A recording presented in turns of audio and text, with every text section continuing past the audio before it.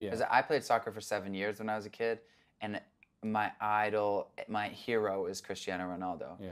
Um, Had a good game the other day. oh my God, best game It was ever. amazing. Um, and uh, I'm a serious uh, I can tell. fan. Yeah, I can tell. So when I, you know, that was just so insane to me, you know, to be